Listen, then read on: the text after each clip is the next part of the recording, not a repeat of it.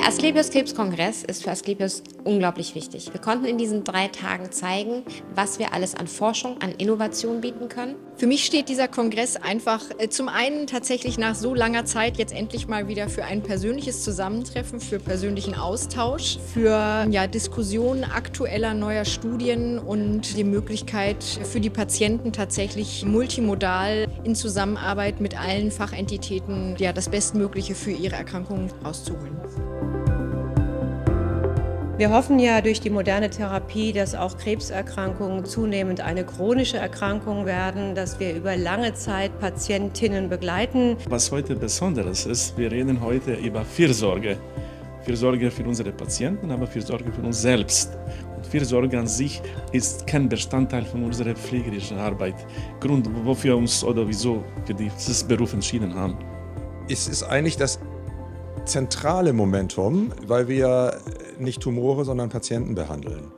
Und das zu leben und auch im Alltag immer sich dessen wieder gewiss zu werden, dass das im Mittelpunkt stehen muss, dass wir Sorge tragen müssen für unsere Patienten, das ist für mich ganz zentral. Das finde ich auch gut, dass es hier ein zentrales Motto des Krebskongresses war. Fürsorge hat für mich zwei Ebenen. Das eine ist die persönliche Ebene, dass jeder Mensch, aber auch jeder Mitarbeiter im Gesundheitswesen dafür sorgen sollte, dass es ihm gut geht und dass er regelmäßig zur Fürsorge geht. Und der zweite Punkt ist der, den ich als Unternehmer sehe, dass wir dafür sorgen müssen, dass unsere Mitarbeiterinnen und Mitarbeiter ein gutes Arbeitsumfeld haben. Und das ist die Fürsorge, die ich als Unternehmer sehe und die für uns als Asklepios prägend ist.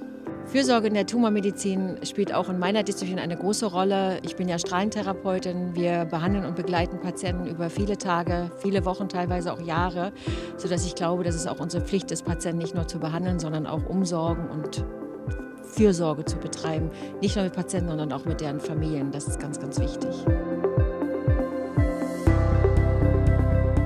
Ja, die Rehabilitation hat als ergänzender Bereich zur Akutmedizin und zur ambulanten Medizin einen speziellen Stellenwert für die Fürsorge der Patienten, weil wir natürlich auch länger Zeit haben für die Patienten und nochmal Themen, die vielleicht in der Akutmedizin zu schnell oder gar nicht aufgegriffen werden, einfach nochmal im Rahmen des Reha-Settings dann aufgreifen können. Ich nehme alle zwei Jahre am Asklepios Krebskongress teil, weil Asklepios Krebskongress für mich als Innovation dasteht, für Vernetzung und für mehr Wissen und Neuigkeiten.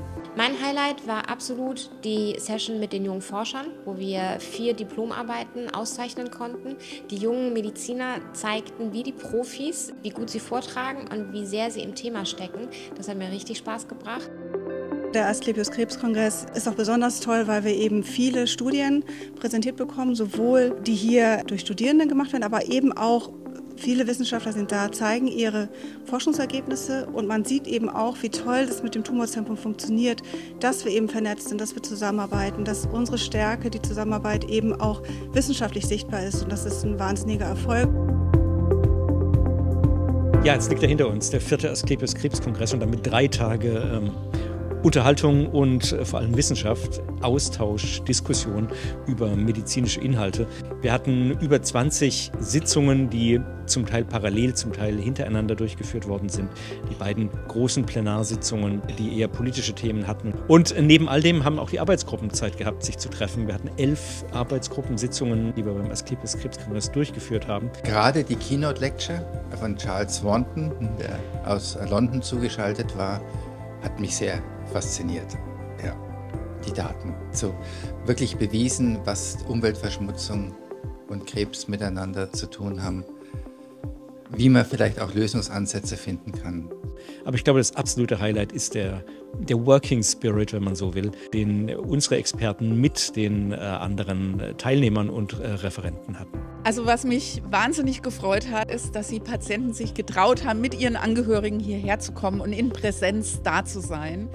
Und dass der Saal hier voll war, das war so gut besucht wie nie zuvor, muss ich sagen. Also richtig toll. Und was wir heute das erste Mal ja tatsächlich versucht haben, war ein bisschen experimentell. Das war die aktive Pause. Wir wollten ja unbedingt zeigen, dass Tanzen den Geist befreit und dem Körper gut tut. Ich glaube, man hat so gut gesehen, die Patienten, die sind so dankbar, die haben das mitgemacht. Da gab es kein Schamgefühl, gar nichts. Ich habe keinen gesehen, der auf dem Stuhl gesessen ist und äh, nicht mitgemacht hat. Ich glaube, die Zukunft sind Hybridveranstaltungen.